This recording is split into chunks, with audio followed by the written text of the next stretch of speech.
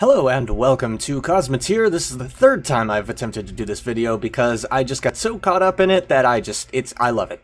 Anyhow, before I get started, I just want to point out that this is a free early access, well, yeah, early access, alpha, whatever, game right now, and it has extensive settings. It's a 2D spaceship building and then fighting simulator game thing and you can see we have all these options in here. The controls are fully rebindable and everything is awesome. You can also edit the colors so if you have um, you know uh, colorblind issues, that kind of thing. It also has modding support. Oh yes, uh, I that that is off by default, but I turned that on because I wanted it on. But in any case, right now there's creative, which allows you to just build whatever. I'm just gonna hop into that real quick to show you. Let's see, my ships. I made a really shitty, um, basically inspired by Star Trek kind of ship, and it's real shitty because it's uh, uh well, here, let me just um, built-in ships. Uh, is this the right one? Yes, the Avalanche. Let's go ahead and I'm going to pause the game. I'm going to put the... Oh? Is Oh, wait. I have to select it, and then... Let's see. You're going to be a Barbarian, and you're going to have the Bounty Brain AI. I'm also going to turn you around. I, I For some reason, I can't do that. Um, also, you have no people set to anything yet. Okay, I, I kind of made this happen too soon. Can I just move you? Actually, let's just uh, let's just straight up delete you by self-destructing because that's cool. And then I will, yeah, that'll that'll add something new to the beginning. And I'll have this come down here, and I'll have you have the Bounty Brain AI, and Allegiance will just be player. So these two will fight right away. I'm going to go ahead and just zoom in right here. Do I have... Okay, good. It's the exterior view. Now, one problem I do have with this game at this point is I'd like the exterior of my ship to be a lot cleaner than it is. And so I'm actually going to look into modding it to make textures that have like smaller windows and like the engines will have like a small like maybe not even have the engine top design and just have it you can tell because it has a thruster poking out of it. And um, you know some other things like that like maybe reduce this to just the center bit. Uh, these are reactors by the way these green things. That's an ftl drive. That's a cockpit. Or not a cockpit a control center. No wait that is. That's a shield generator. I'm a dumb. In any case um, oh you can't see my mouse. Oh that's a problem Okay, now you can see my mouse. Yes, yes, FTL drive, shields, uh, reactor, control center, crew quarters. You'll see all this stuff in a minute after I go through the center bit. Yeah, yeah. Self-destruct's a pretty cool option, but uh, in any case, these two should start fighting. Oh, are you running? No, go go up this way. Let's let's have you guys fight. Come on. And I think I can right-click on the order to cancel it. Okay, never mind. It's already decided to attack now. And for some reason, this thing wants to attack facing sideways. I guess maybe just the weapon arrangement I have set up tells it that it wants to do that, but honestly, I think that's probably a, a bad thing. In any case, we're going to zoom in now to watch... Yeah, it fires some missiles, but this thing has really powerful lasers really fucking powerful lasers, which you can see go through the shields pretty quickly. And then because this thing wants to face sideways, it cuts through it. And see, if it didn't destroy the control center right there, this part would still be controllable and able to fight. And in fact, it's able to fire missiles still, even though it has no control center. It has no ability to turn or move or anything, but it can still fire missiles because there's still crew on board that still have, um, what should we call it? they still had some missiles on board. Of course, the missile factory was on here. It's destroyed now, unless that's it right there. I can't quite tell. Yeah, that's it right there. It's actually not... Now it's destroyed. Yeah. Oh, and now it's going to finish off this bit. Yeah, so you can see the, the shields don't last very long, and the uh, the warp nacelles have a reactor on them and some uh, power storage, I believe. Yeah, so they, they go up pretty quickly. Also, there's fire, so you can see this is on fire now which means uh, the fire will spread pretty quickly. Of course, uh, he'll probably blow it up with the lasers before it gets a chance to uh, have the fire spread much. But yeah, uh, this guy, he did take some damage. Oh, he's finishing off some of the debris. That's great. Yeah, we're gonna we're gonna go back to the main menu now.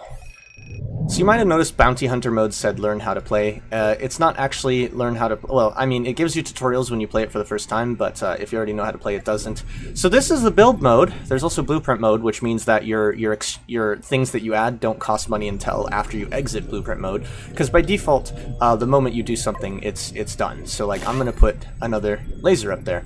And uh, now you can see we have below the recommended level of crew. So I'm going to go over to crew and I'm gonna see, I'm gonna put this right there. So we have more crew now.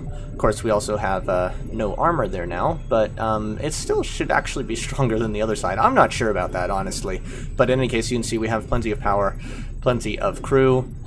But, uh, oh yeah, I, there's an option that's to build doors automatically, and I turned that off just because I, I prefer the idea of having to arrange that myself. So I, um, oh good, we do have fire extinguishers on here. Yeah, because fire will completely destroy you if you don't have something to do something about it. In any case, uh, this technically is a, viable design, so I'm gonna go down here to the, uh, go assign us a target, and, um, it's pretty cool. It's it's I, I just love this game. It's like RTS when you're in this mode. You can have multiple ships at your command too. Um, that's FTL fuel, which we okay. Wait, wait, pause. I'm gonna have you target the lasers and then the core. Um, the core is behind the cockpit. Now, the control room, obviously, I keep calling it a cockpit, it controls a ship. If you have multiple of them, then one can be destroyed and it can still have control. Also, it does this picture-in-picture -picture thing automatically. It's normally smaller than this, but I made it bigger so you can see the stuff better. And uh, we are taking some damage. We also have run out of power on some of our stuff. But we still have more firepower than this thing. And you can see one of their crew just trying to uh, do stuff. And now you can see it's spinning out of control because we took out the control room.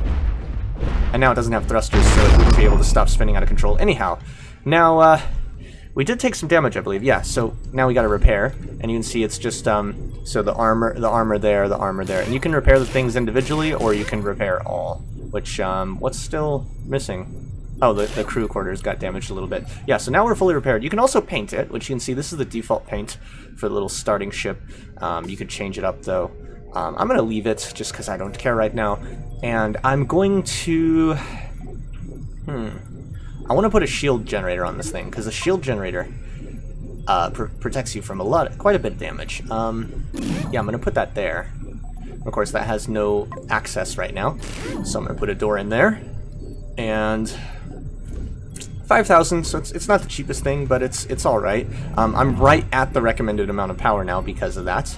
Um, what I am going to do, actually, is I'm going to put in a power bank room right there. So now we will bank extra power there, which is cool. So we got some shields. We have less weapons, though, now, so I need to add more of those back on, which I'm going to do right here and here and I'm gonna put that on. There is a mirror mode as well, so you can mirror what you're doing, which is useful, very, very useful. But uh, yeah, now we have less than recommended power. Of course, that battery bank will help out with that, but um, ultimately we, we want to have more power available.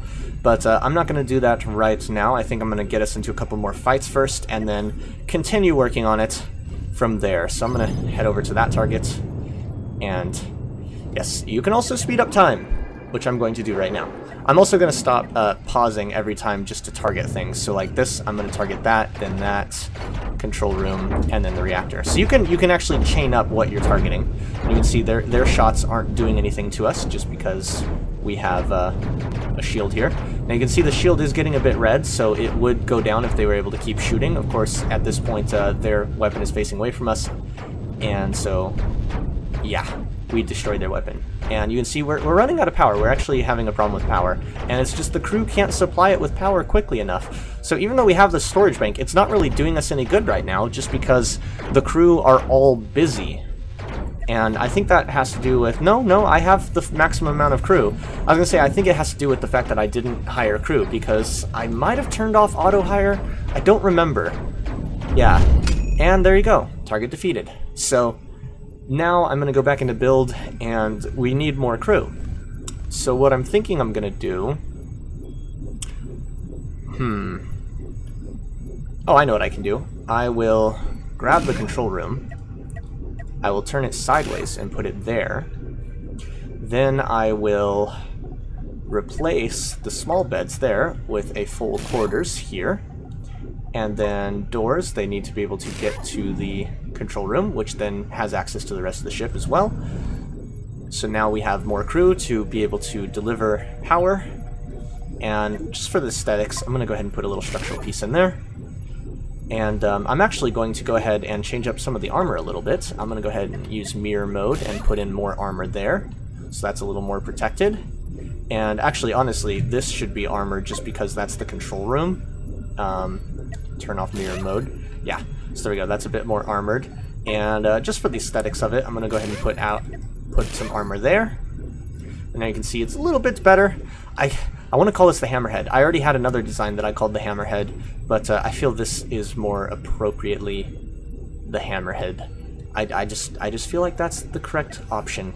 But in any case, we have another guy to destroy, and then after we destroy him, we're going to need an FTL drive in order to go to other sections. Okay, oops, that's one-fourth speed. So yes, there is one-fourth speed as well.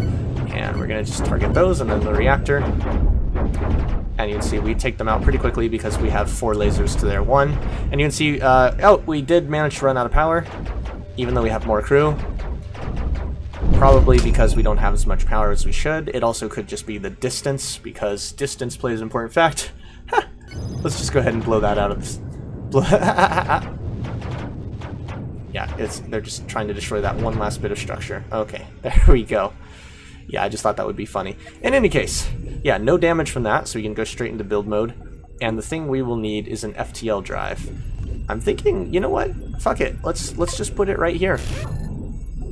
And then um, now what we are going to need to do, I, I do want to armor that more though, because FTL, it's kind of important to keep that alive.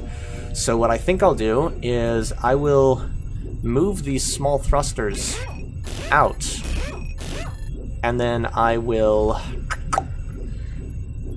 Hmm. Actually, be nice to, uh... It'd be nice to move these out a little bit, too, I think. Uh, they're, they're at the edge of the uh, sheltering range of the uh, shield, although usually enemies focus fire pretty close to the center, so they probably wouldn't be hit anyhow. But I'm thinking uh, something like... I, I need another reactor on here, and I'm trying to decide where to put that. I'm thinking I should just go ahead and maybe move these up to here, and then go ahead and put just a tiny bit of armor wedging there, and then I can, let's see, I want to move stuff around a bit. Now, I'm thinking the FTL drive could actually be, actually, it, it probably should stay right where it is, but the quarters, like, let's move one set of quarters there, and then, oh yeah, that's not going to let me move it because it's essential structure at this point. Uh, we'll go ahead and put the reactor in there, and then we'll move... Oh yeah, I still can't move it because it's going to do that. So this is where blueprint mode comes in handy, because then I can move it around without it actually... Like, see, this is invalid structure right now, but I can move things around until I get a valid structure. Let's go ahead and put that there. I'm going to put that over here for a moment. I'm going to put that there, and I'm going to put this reactor storage right in the center. I'm also thinking of just replacing, just straight up replacing our two smaller thrusters with one large injury, with more than twice the force of a standard thruster. Yeah, so I'll just put one bigger thruster right there. So that'll be nice. And then doors. Now, obviously, we need to be able to access all this stuff, so I'll put a door there, a door there, and doors to access the reactors. And, of course, we need a door for these beds to be able to access everything. So everything's linked up now. It may not be the most, well actually no, these still need to be linked up. It may not be the most efficient design, but hey, it's it's what I did. Um, now we do have side thrusters, good. Um, I feel like we should have some, some more armoring. Now, at this point, we're doing good on power. Uh, I'm thinking about actually just um, straight up moving this bed here actually and moving this FTL there and then putting another set of beds right here. So we have plenty of crew. Oh, but that that will cost more than we can afford. So I can I can reduce how many crew I'm hiring to make it a bit cheaper. Um, I do definitely want to do that though, and I'm thinking, of course, we need to have these beds able to access everything. So I'll do that and that, and I'll have this, this, this, so we have uh, good access to everything. And uh, we do need a fire fire station somewhere on here. Uh, very important fire extinguishers. I'm going to go ahead and actually put two on, and I'm going to put them not right next to the reactor, just in case the reactor blows, although I think one of these reactors blowing might take out everything. So, you know, I'm not sure about that. But in any case, that's kind of the basic idea. Now, we can do that and hire only three crew and get away with it. Um, oh, but I, I, do need to reattach these, of course. Um, which I can do with just structure, which is the cheapest thing, cheapest building material. Um, I might do that. I, I'd prefer to have this thing armored. In fact, actually, I'll, I'll just attach some more structure there. And what I'll do is I'll put a bit of armor plating right here, mirrored of course. Oh, but that'll go right in line of the thruster, so I can't actually do that. Um, I might be able to just put armor in along here. That's what I'd prefer to do. Let's see if I can make that work. Yeah, by hiring no more crew, but but putting in these new things. Oh, but you know what? I need an FTL. Oh wait, I did put an FTL in here. I forgot. Also, actually, there is there is a problem with this. Those um, engines need to remain accessible so that uh, they can be refueled. So um, that should that should do it. So now you can see they can access these. Uh oh, something's not accessible. Oh, the reactors, the, the whole bottom half of the ship isn't accessible because I'm an idiot. And let's go ahead and turn off mirror mode and blueprints. Um, we'll put the... What? Oh, I don't have the money for it! Oh shit! I need to sell something in order to have the money for it. That's, that's, uh... That's rather unfortunate. Alright, so we're gonna get rid of this this wedge on the pack armor. Just one wedge, so we can put a door in there so that the crew can access the frickin' power reactors because we, they actually couldn't access them, which is a really dumb move on my part. But yes, now everything is accessible and all fairly well armored. You can see we have some better thrusters, some other stuff, yes, and uh, oh yeah, of course, uh, we need to plot a jump now. So, um, oh, fortunately there's a place that's really fucking close. So we'll just set that up and you can see they start bringing power into the FTL drive. Also, this FTL drive, what's our efficiency? Does it, does it not tell me? Oh, I, I can't see it right now. And uh, yeah, it's spun up. We can go ahead and jump.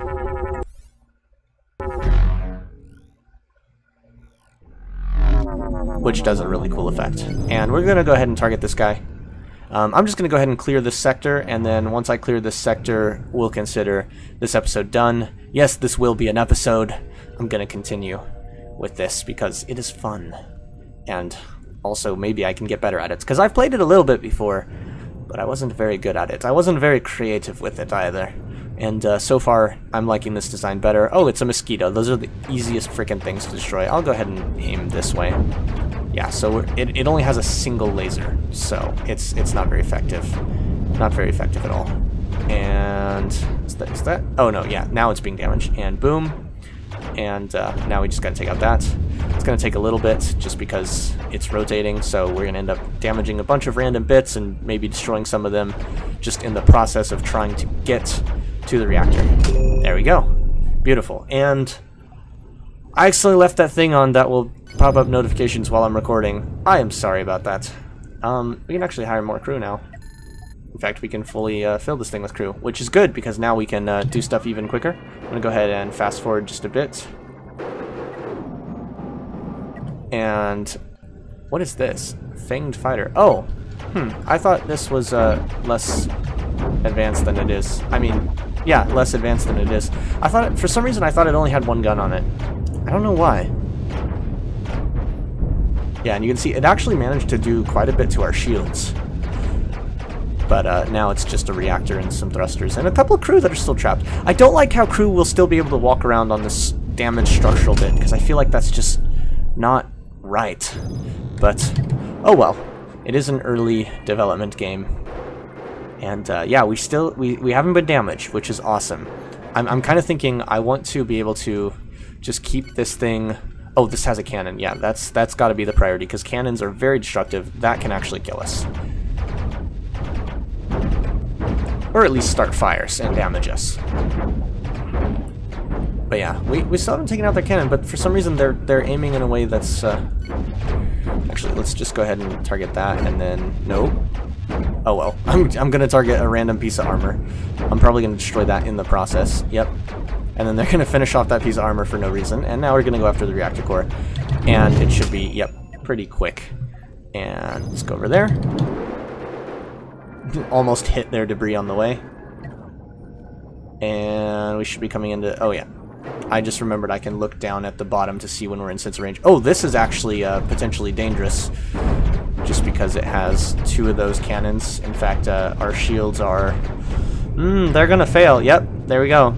Our engine... Oh, but we took out their cannons at the same time they broke our shields. So they actually still haven't managed to damage us, even though you can see we're running out of power on various things. I actually want to turn that off. There is a setting for that.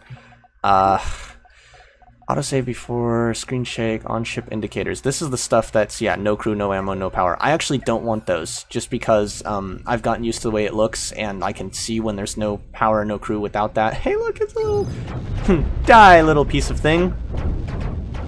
Oh, yeah. And we're to chase it down. There we go. Killed it.